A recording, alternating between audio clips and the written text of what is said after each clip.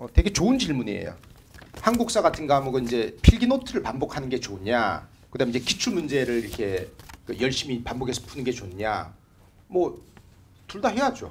둘 다 해야 되는데 어, 제가 이제 아주 싫어하는 것 중에 하나가 어, 이제 노량진의 이 학원 저 학원 이제 가 보면 이제 왜 이제 그 로비나 이런 데서 이제 공부할 수 있게 돼 있어요. 그다음에 이제 카페 같은 데서 이렇게 지나다니다 보면 이제 공시생들이 공부하고 있잖아요.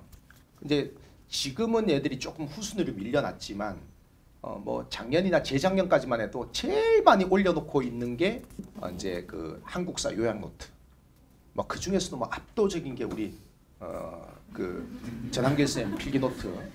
막그 실명 다 공개도 됩니까? 아니 저는 뭐 그냥 뭐 과격하시네요. 그 그냥. 저기 뭐야 그런데 그다 좋아 좋은데 나는 이제 아까도 내가 잠깐 말씀드렸지만 많은 공시생들이 나는 이제 그 이론 반복 이론 반복과 문제풀이 어떤 상호작용 같은 걸 되게 중시하거든. 이거 수험 공부 해본 사람들은 이건 100%다 인정하는 거야 이거는. 객관식 문제는 다 이렇게 하는 거야. 근데 많은 공시생들이 이런 그 요약 노트를 달달달달 애우는 걸 한국사 공부라고 생각하는 것 같아. 요약 노트를 달달달 애우거나 아니면 그 강의를 듣는 거 이렇게 이제 압축 그 요약 강의 이런 걸 듣는 거를 어 이제 이걸 이제 한국사 공부한다고 생각하는 사람들이 많아. 물론 이것도 필요하긴 해. 뭐 전혀 필요 없는 건 아니야. 근데 객관식 시험이잖아. 이 기출 문제를 풀어봐야 아 이런 스타일로 문제가 나오는구나. 아 이런 정도 난이도에서 문제가 나오는구나. 어 실학 같으니까 어 정약용, 이 홍대용 이 새끼들이 계속 반복되고 있네. 그다음에 일제시대 역사학자 보니까 어 이거 뭐 거의 3분의 2가 다 신채호 박은식에서 끝나는구나 이거. 이 양반들이 엄청 중요하구나 이거. 이 기출 문제 풀어봐야 할 거 아니야. 근데 이제 많은 수험생들이 여기 계신 분들 절대 안 그러겠지만 어, 문제 푸는 거 두려워합니다. 음. 문제 푸는 거 두려워하면 이 바닥 못 떠납니다. 진짜. 문제 푸는 거 두려워하시면 안 돼. 문제 푸는 걸 왜 두려워하냐? 자기가 완벽하게 공부하지 못했다는 어떤 그런 이게 있는 거야. 그러니까 문제 풀어서 틀릴까 봐. 야 문제 풀어서 틀리는 거 본인밖에 모르지 않나? 너 아버지 알아? 옆에 친구 알아? 몰라. 그 문제 푸는 거 두, 문제 푸는 걸 틀리는 걸 두려워하는 거지. 근데 한국사 같은 과목은 어떤 과목이냐면은 재시생들은 그러면 안 되지만 초시생들은 기출 문제 풀 때 모의고사는 그렇게 하면 안 되지만 기출 문제 풀 때 그 아직 디테일한 암기가 다 안 돼 있어도 기출 문제 푸는 게 좋거든. 그럴 때 이제 요약 노트 같은 거 살짝 살짝 뭐 찾아봐도 괜찮아 그거는. 근데 그럼에도 불구하고 문제 푸는 걸 두려워하지 말고 이 풀어야 돼. 아시겠죠? 그리고 그다음에 또 하나 잠깐 팁을 말씀드리면 예를 들어서 우리로 말하면 이제 800제를 한 4주 동안 빡세게 이제 한 바퀴를 돌렸어. 한 바퀴를 돌렸으면 그 다음에 그 곧바로 풀지 말라고. 어차피 그러면 또 그림 외우기밖에 안 되니까. 그러면 이제 2주나 3주 정도는 뭐 다른 과목 공부해도 되고 아니면 2주나 3주 정도는 OX 같은 교재, 성격이 다른 OX 같은 교재로 이렇게 한 2, 3주 정도 이렇게 또 한 바퀴 돌려. 그러고 나서 어 이제 800제를 다시 한번 이렇게 돌려. 그러면 이제 약간 잊어먹은 것도 있고 그다음에 이제 에워서 푸는 느낌은 또 아니란 말이에요. 그래서 이제 800제 OX, 800제 OX 뭐 이런 식으로 이제 교차 반복하는 게 나는 어떨까 싶기도 하고. 그다음에 또 우리 교재 중에서 뭐 왜 분류서 빈칸 노트처럼 이제 빈칸 채우는 것도 있단 말이에요. 뭐 그런 식으로 해갖고 이제 성격이 다른 걸로 이렇게 하는 게 어떨까 좀 싶습니다. 이 결론은 되게 좋은 질문이신데요. 한국사 같은 과목은 자, 요약 노트를 반복하는 것도 필요하고 그다음에 이제 기출 문제 그렇다고 해서 기출 문제 푸는 걸 좀 두려워하거나 문제 푸는 거 하여튼 두려워하시면 안 돼. 이건 무조건 부딪혀야 돼. 아시겠죠? 자, 어우 조, 좋은 질문. 기출 3회독제 돌리고 있는데 이미 중요한 부분은 어느 정도 맞고 각 조금 지엽적인 부분은 자꾸 틀리네요. 그런 건 과감히 버리고 중요한 부분만 계속 보는 게 맞을까요? 아니면 그런 부분도 봐야 될까요? 이제 본인이 이제 선택을 해야 되는데 어 뭐 예를 들어 본인이 이제 소박하게 어 진짜 선생님 저는 진짜 소박하게 95점만 95점만 받아도 괜찮아요 하시는 분들은 사실 너무 좀 이렇게 이렇게 약간 지엽적인 부분들이 있거든. 그래서 그런 거 사실 좀 버려도 되거든. 그리고 이제 강사들 기출들이 보면 어 이제 이 지금 이제 시험 제도가 한국사 같은 경우 많이 바뀌었단 말이에요.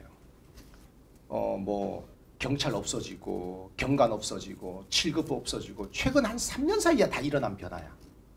근데 이제 강사들 기출은 어 여전히 그런 거에 기준을 해갖고 지금 기출 문제집이 만들어져 있단 말이야.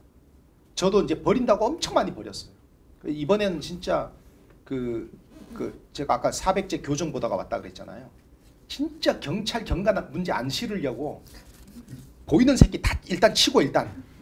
근데 해당 주제가 없으면 어쩔 수 없이 넣어야 되는 거지. 그래서 이제 저도 이제 800제나 1200제 구성하면서 그 경찰이나 경관이나 뭐 이런 기출은 아 진짜 안 쓰려고 노력을 많이 했는데 그 해당 주제가 없으면 또 넣기도 하죠. 근데 내가 봐도 심지어 우리 1200제, 800제조차도 어, 지금 최근 3, 4년 사이에 어, 이제 출제되고 있는 국가직 지방직 어떤 스타일에 비하면 과해.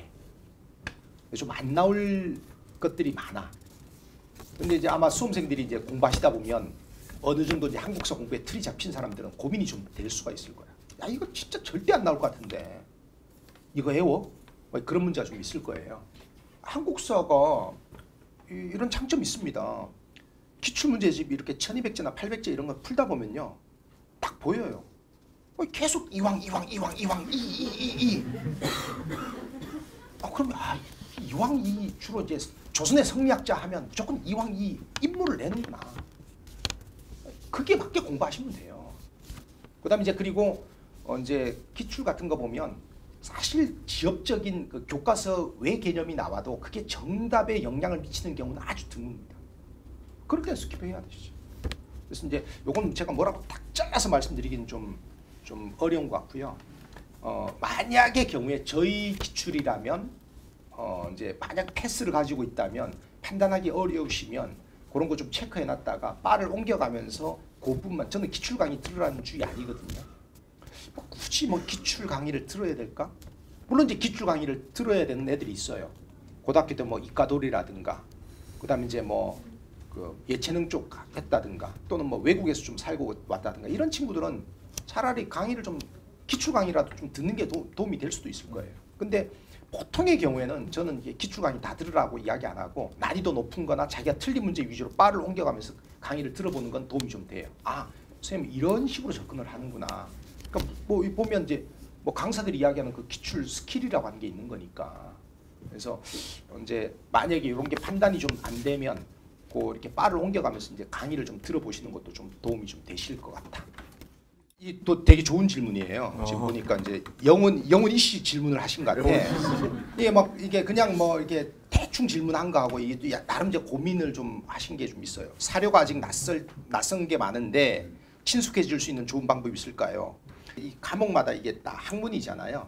한국사 역사라고 하는 과목은 원래 사료로 공부하는 과목이거든. 그래서 이제 사료가 되게 중요합니다. 사료에 친숙하지 않으면 이게 고득점 내기 쉽지 않아요.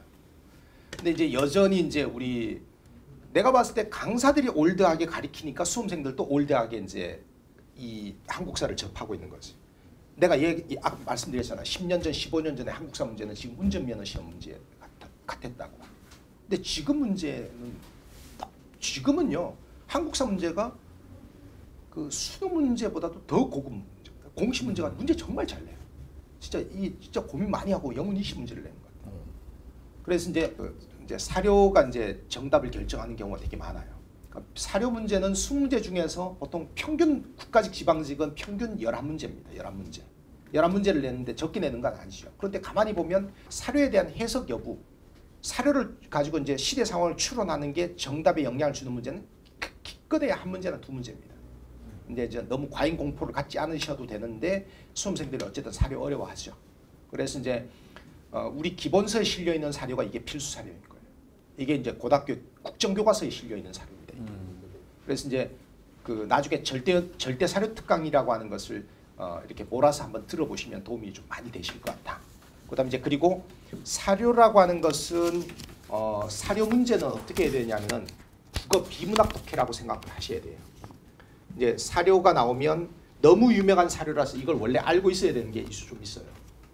김구의 삼천만 농포 이게 읍고함도 해석할 거야?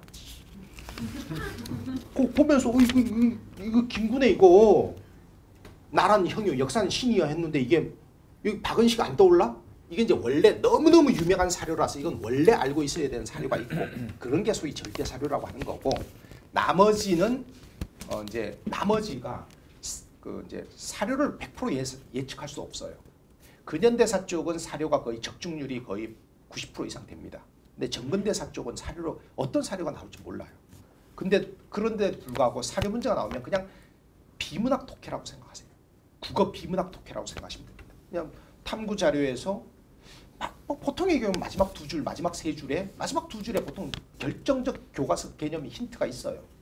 이게 이게 요 사료에서 교과서에 뭐 교과서에 있는 어떤 인물을 뽑아줄 거냐? 얘가 견훤이냐, 문무왕이냐, 김유신이냐? 이거 이거 뽑아주는 거예요. 이거 알겠죠? 그다음 이제 이 사료에서 이야기하는 제도가 뭐냐?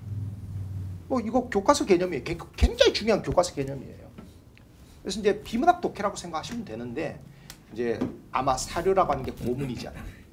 많이 이제 약간 이제 번역을 해놔도 고문이잖아. 그러니까 수험생들이 좀 어려워하는 거지. 아까 말씀 두 가지.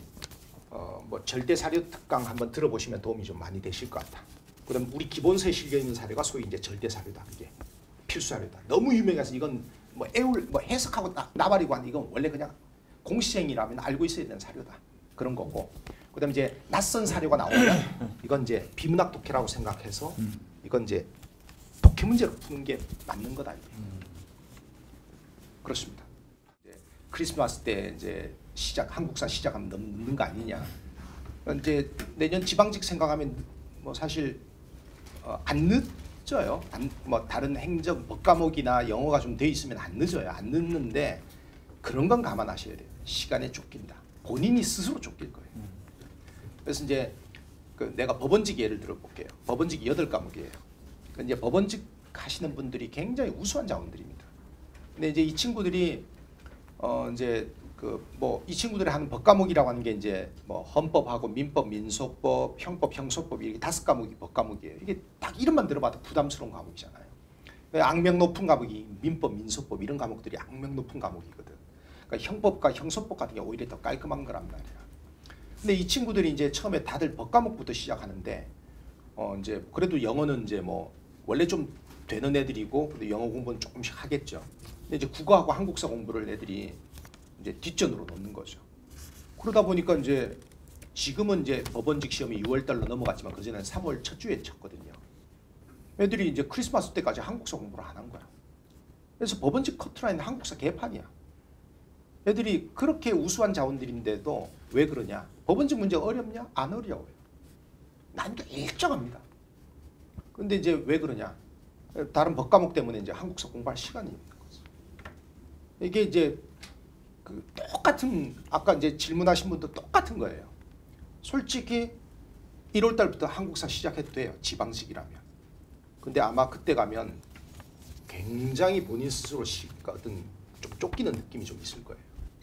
그래서 이제 어 좀 그 11월 달이라도 계획 잡는 게 좋을 것 같아. 뭐 이런 말씀 좀 드리고 싶고 어 지금 다 고민하는 부분이에요. 한국사 이제 어려운 데가 문화사 쪽이잖아요. 정근대 쪽은 문화사가 어렵고 근현대 쪽은 약간 무장투쟁이나 이런 게 좀 어렵잖아요. 뭐 문화재, 승려, 그다음 이제 조선후기 유학자 뭐 이런 게 이제 너무 어렵다. 어 뭐 휘발성이 강하다. 뭐 이제 자기는 공부했다고 했는데 또 뭐 다 잊어먹고 뭐 그다음에 이제 뭐 하여튼 그런 거죠. 뭐 여기에는 이제 두 가지 말씀을 좀 드릴 수가 있는데 하나는 이제 반복의 힘을 믿어야 된다. 어쩔 수 없습니다. 이 반복해야 됩니다. 반복해야 되고요. 여러분들이 이제 그런 생각하십니다. 뭐 예를 들어서 뭐 조순기 실학 정리를 하는데 실학의 핵심은 실학자란 말이야.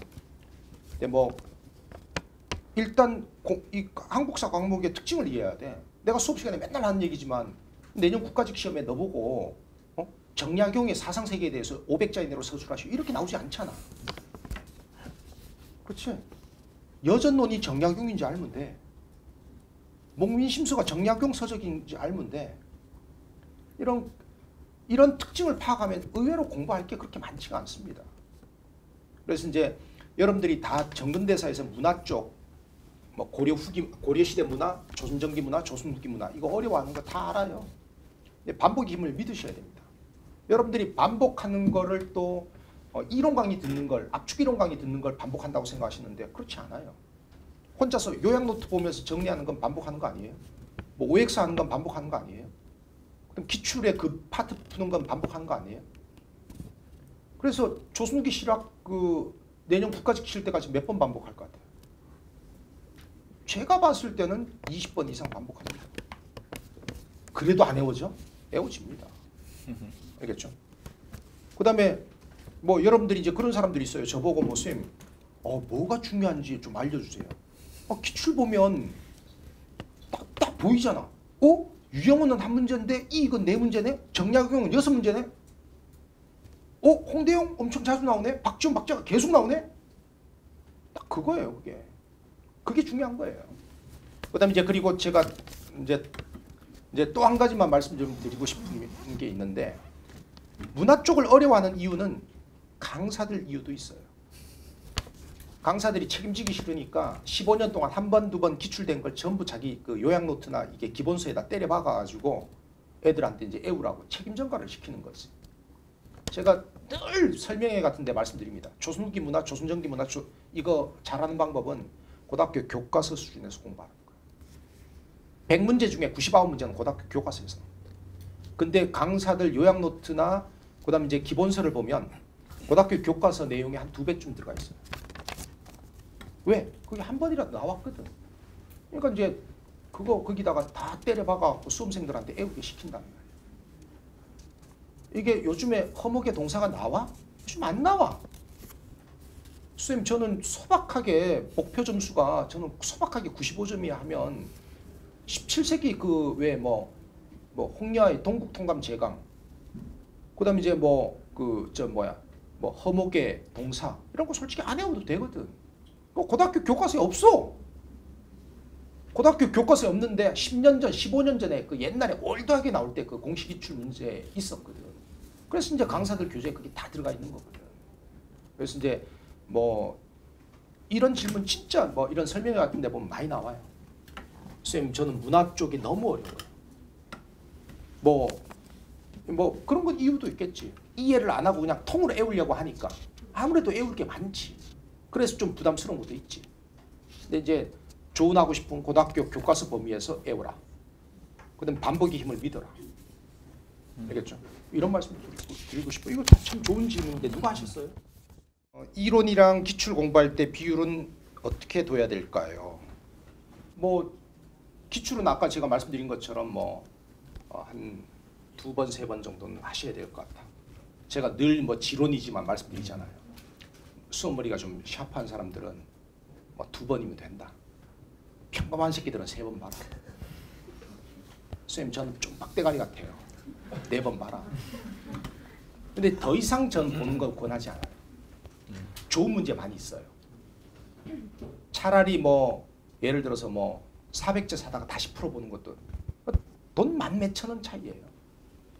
그 그러면 이제 또 같은 책을 제가 세 번, 네 번, 다섯 번 보는 게 이제 화면 외우기밖에 안 되니까 그런 건데 아니면 뭐 똑같은 책을 하여튼 뭐 그렇고 그다음에 이제 뭐 모의고사나 기성모 같은 거 요즘에 좋은 문제들 많이 있습니다. 그러니까 각도가 다 다르게 풀어보는 것도 되고요. 여러분들이 뭐 모의고사 같은 게 황당한 문제가 아니잖아요. 다 역대 기출 문제를 살짝 살짝 리메이크하고 약간 약간 마사지하고 변형시킨 거예요. 어, 사실 그것도 거의 기출이에요, 기출. 그다음에 이제 그 이론은 이제 아까 제가 말씀드린 것처럼 처음부터 끝까지 이제 올인원 이거 한번 들으면서 정리하는 건 무조건 해야 되는 거고. 그다음에 이제 우리로 말하면 초스피드 개념편이든 final 압축 정리든 압축 이론 강의 한 번 정도는 들어야 될 것 같고. 이론 강의는 저는 그거가 끝이라고 생각해요. 그리고 나머지는 모의고사 이렇게 치다가 점수가 좀 안 나오면 어 이제 그 압축 이론 강의를 특정 부분만 이렇게 뭐 현대사가 어, 좀 선생님 자꾸 현대사 문제 틀리는 것 같아요. 현대사 부분 딱 거기 네 강이란 말이에요. 그거 1.3배속으로 빡세게 한번 들으면서 다시 한번 정리하고. 선생님 저는 문화 쪽이 계속 틀리는 것 같아요. 조선기 문화, 조선전기 문화 그 부분만 딱제 강의 들으면서 어, 다시 정리하고. 그다음 이제 어, 저는 이제 뭐꼭 강의가 또 맞는 건 아닌 것 같아요. 여러분들 중에서 이제 중고등학교 때 공부 좀 하셨던 분들은요. 뭐 이론 강의 한번 듣고 압축 강의 한번 좀 정도 들었으면 혼자서 이렇게 정리할 수 있을 거예요. 알겠죠? 여러분들 역할도 있는 거죠. 그다음에 음, 그 기출 회독 시에 진도별로 푸는 거랑 전범위로 회독하는 거랑 뭐가 더 나을까요? 저는 이제 뭐 초시생들이나 처음 공부할 때는 뭐 대단원 중단원 단위로 이렇게 따라가면서 이제 저는 그 뭐 권하는 것은 압축 이론 강의 들으면서 또는 꼭 강의 안 들어도 혼자서 이제 고대 자, 고대를 이제 요약 노트 자기가 보고 있는 요약 노트로 고대를 머릿속에 한번 정리하고 실제로 저는 이제 가급적이면 그 기출을 실, 실제로 이렇게 푸는 게 좋을 것 같아요. 그뭐 그런 점에서 이제 요즘에 그 PDF 파일 어, 그 메가에서 그 나온 그 뭐지 이북 이북처럼 이렇게 해갖고 거기다가 실제로 풀고 채점하고 저는 그런 것도 저라면 진짜 저는 그냥 종이에다 풀어요. 뭐 그렇게 이제 실제로 좀 풀고 채점하고 그렇게 하는 게 좋을 것 같아요. 그다음에 이제 그리고 이제 그 중세 고려 갔으면 이제 고려 정치를 머릿속에 좀 쫙 한번 정리 좀 하고 그다음 실제로 문제 풀고 채점하고 틀린 게 왜 틀렸는지 리뷰하고 이런 식으로 이제 대단 중단원 단위로 이- 이동하는 게 어, 맞지 않을까 싶고 사료는 기출에 나온 것만 봐도 충분할 거예요. 맞습니다. 우리 기본서에 실려 있는 사료, 그다음 이제 기출에 있는 사료도요. 아까 뭐 사료는 제가 말씀드렸잖아요. 한국사는 어, 소위 이제 필수 사료라고 하는 게 있어요. 이거는 이제 뭐 굳이 해석해도 되는데 너무 유명해서 너무 유명해서 이건 보자마자 이제 아는 거죠. 어 뭐 신체의 독사신론 뭐 맨날 나오는 게 뻔하잖아. 국가의 역사는 민족의 소장성세의 상태를 서술하니 이거 보면 이거 해석할 거 이거 한국사 보통 있잖아요. 지금은 안 그럴 것 같죠. 내년 국가직 지방직 가잖아요. 한국사 대부분 8분 안에 8분 9분 안에 수문제 다 풀고 막힘까지 다 합니다. 그래서 이제 그 사료는 이제 그 기출에 있는 사료만 보셔도 충분하고 그다음에 이제 우리 기본서에 있는 사료만 봐도 충분하고 그걸 벗어난 문제가 나오면 어떡하냐? 비문학 독해라고 풀어야죠. 비문학 독해라고 생각하고 풀어야죠. 자, 그래서 답변 되셨는지 모르겠습니다.